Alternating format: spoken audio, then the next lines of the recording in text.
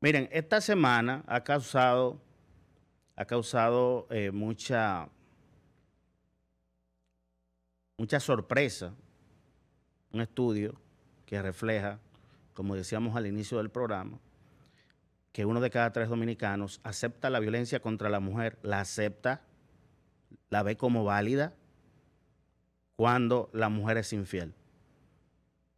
Y decíamos también que a pesar de que en estudios de este tipo la gente esconde cosas como tendencias violentas, porque no quiere que el entrevistador se dé cuenta. Eso pasa en Estados Unidos, por ejemplo, con, con los racistas. Hay candidatos a puestos electivos en Estados Unidos que han ganado esos puestos cuando las encuestas no lo proyectaban. No lo proyectaban como ganadores ni siquiera cerca. ¿Por qué? Se ha estudiado que en las encuestas, en los estudios de mercado, la gente trata de esconder las cosas que le avergüenzan. el racismo es una cosa que mucha gente lo practica a escondida, así como la violencia también.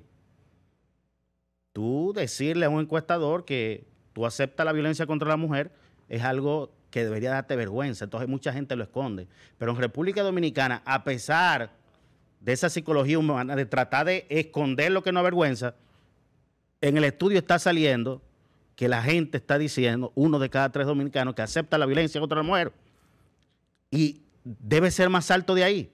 Porque, repito, la gente esconde verdaderamente lo que piensa en este tipo de estudios por vergüenza. Entonces, esto debería ser que uno de cada tres admite, pero probablemente la proporción sea mayor y para muchas otras cosas más, no solo para la infidelidad. Probablemente esas otras cosas más no, no salen en el estudio porque la gente no quiso reflejarlo. A ese nivel es que estamos en República Dominicana.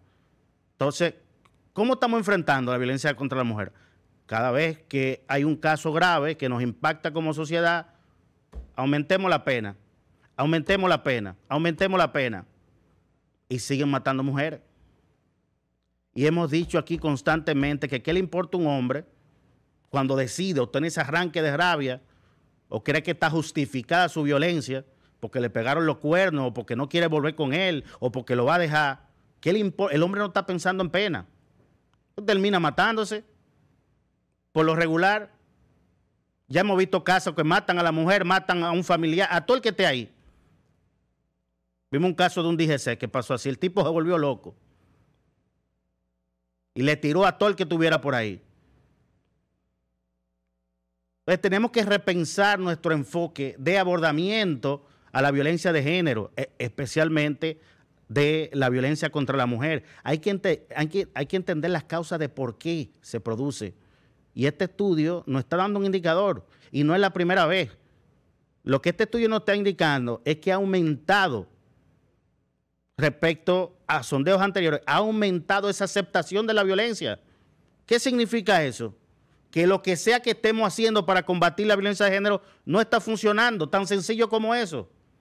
Se ve con los ojos de la cara. Y yo he dicho aquí en este programa varias veces y seguiré diciéndole que no, no podemos esperar resultados diferentes haciendo lo mismo. Y, tenemos décadas haciendo lo mismo con el tema de la violencia de género. Es inaceptable lo que está pasando aquí con ese tema. Y tú te encuentras con gente inteligente que te dice que no, que aquí, que el feminicidio no existe. Y te dice que, como dice Agustín Laje, que aquí a las mujeres no la están matando eh, por el hecho de ser mujer, pero que no entiende de dónde sale el concepto feminicidio. Que, la primera que lo acuñó en inglés fue Diana Russell en Estados Unidos y le llamaba femicide. Luego fue la mexicana Lagarde, especialista en estos temas también, que quería crear en español un concepto donde se pudiera visibilizar lo que está pasando. Porque anteriormente, cuando no teníamos el concepto feminicidio, tú tenías las estadísticas de violencia de género, pero cuando tú te ibas al desglose y tú veías, ok, vamos a ver la violencia de la mujer al hombre. Ok, aquí están las estadísticas, tanto. Pero cuando tú te ibas a la violencia del hombre a la mujer, la cosa era horrorosa en términos de magnitud comparado con la primera.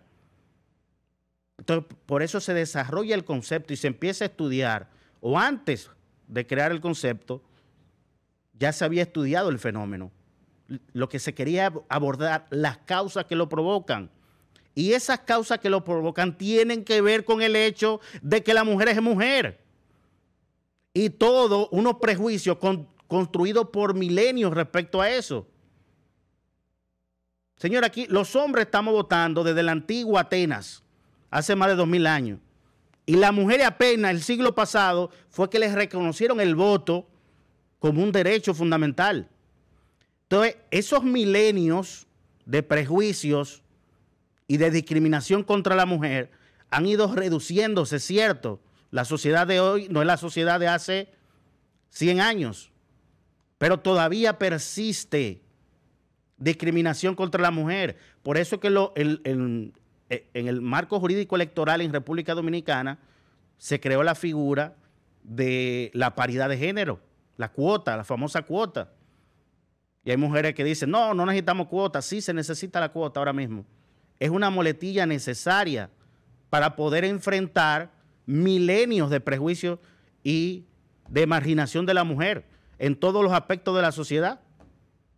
¿Mm? En las empresas, en la política, en el hogar.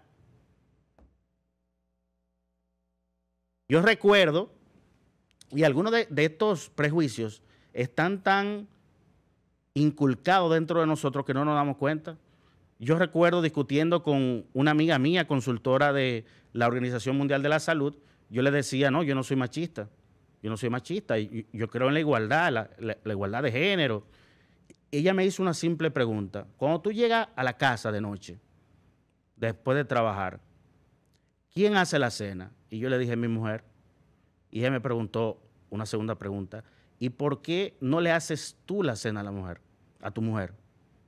Y me desarmó, me desarmó, porque en mi mente está inculcado el hecho de que yo llego a casa, yo, yo soy el papá, yo soy el esposo, y a mí hay que hacerme cena.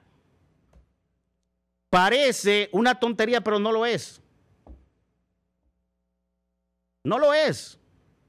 Entonces, hay un sinnúmero de cuestiones inculcadas en la psicología del dominicano que provoca que un hombre sienta que cuando lo dejan o le pegan los cuernos o no quieren volver con él, sienta que tiene el derecho de matar a esa persona. Y ahí es que hay que atacar el problema.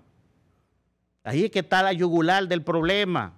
Por eso que yo digo que tenemos que irnos a la formación inicial de nuestros niños, niñas y adolescentes en el sistema educativo. Nadie nace abusador, se crea en el camino. Entonces podemos interceptar en el camino a ese jovencito, a ese niño, para que no sea un adulto abusador y las niñas para que no, se, no sean mujeres eh, víctimas. Que sepan, que sepan que hay señales incluso que te indican que un hombre, antes que la, la relación sea seria, cuando una mujer y un hombre empiezan a salir, hay señales que te dicen si ese tipo es un abusador. Pero lo ideal e, e, es que empecemos a construir nuevos ciudadanos desde la escuela. Entonces a las autoridades vamos a tomar los datos de estos estudios y vamos a redefinir nuestra política de combate a la violencia de género.